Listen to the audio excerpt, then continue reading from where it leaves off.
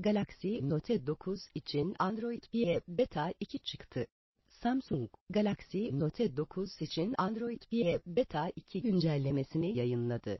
Galaxy Note 9 için Android Pie Beta 2 güncellemesi ile gelen yenilikler haberimizde yer alıyor. Undefined.